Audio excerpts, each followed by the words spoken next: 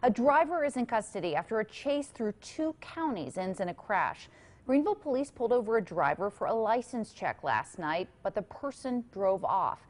The chase ended when the driver rear-ended another vehicle on East Main Street near Tyger River Drive in Duncan. Investigators say the driver was wanted for a home invasion out of Greenville County.